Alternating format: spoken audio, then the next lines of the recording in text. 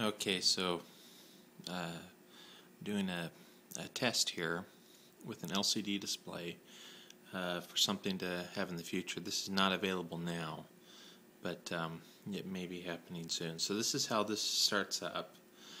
Um, this actually uses pins that are used for um, the enable for the motors, so uh, they should work together. I'm working on that now.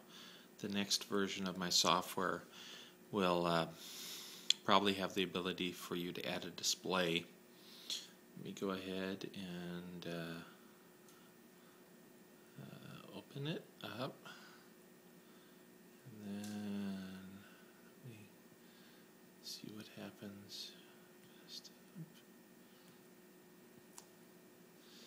And this right here, it's uh, showing you the feed rate. Uh, it's actually going by line by line what the uh, command buffer is doing.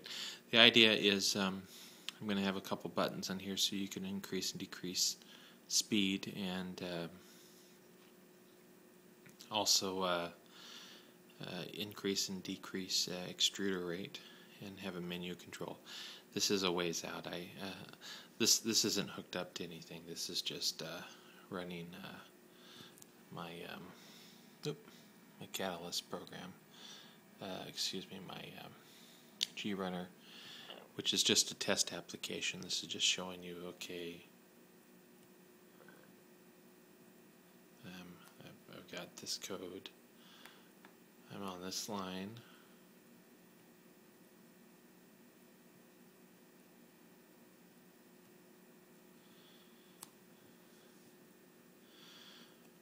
These are just the commands it's running now. What's interesting about this is this is actually showing me exactly what my uh, Catalyst software shows me, which, and this is at 115 uh, 200 baud, so 115 k baud. So, um, as long as uh, multiple commands are sent at once, uh, it seems like it's pretty quick least quicker than running at 19.2. But uh, this is not the compressed version yet. Uh, this is just uh, a display that shows the feed rate that it's running at, the X, the Y, the Z, and the extruder. So let me go ahead and uh, so this this is uh, this controller is running hybrid code. So let me go ahead and browse. You notice E says 0 all the time right now. Go ahead and look for uh, 5D acceleration.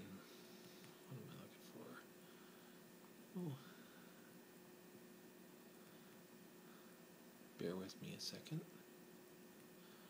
I got it on here, I'm sure I do.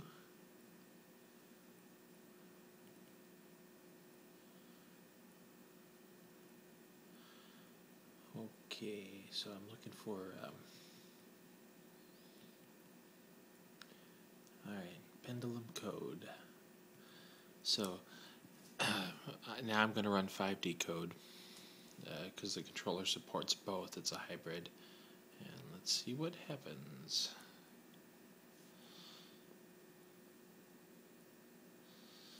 All right, so so far okay. We got E1.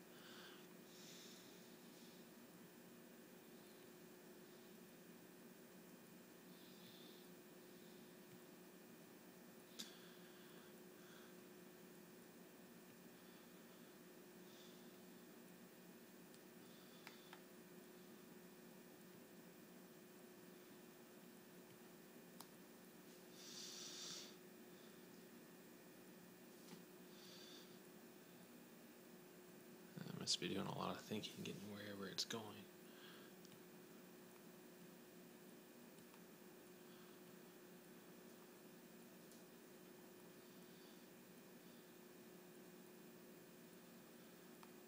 Let me reset.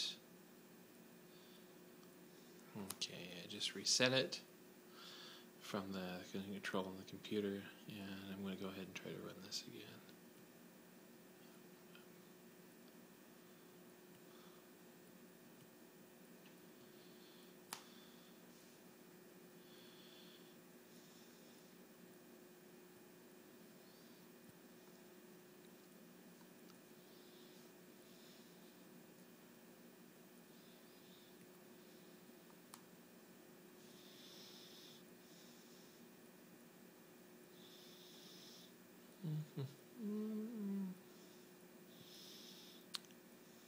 Okay, whatever. Anyway, it's not communicating with me very well, or it's not working the way I wanted it to right now, but it's enough to show you that it's uh, coming. Uh, it's still a ways of work. So this uses six pins of the Arduino for the uh, LCD. Um, only one of those pins needs to be an unused pin, which is 19. Four of those pins are the uh, stepper enable, and then one of those pins is um, X direction. So none of those are happening while the display is updating, and uh, the motor won't even go on if you um, enable it for as brief time as this LCD takes. Then it won't enable.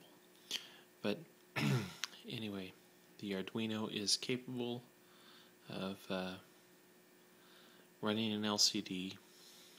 Uh, uh, running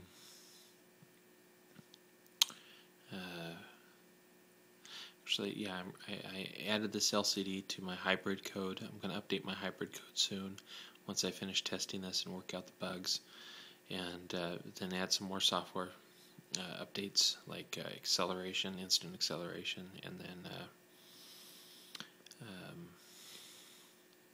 some other things to make it work faster.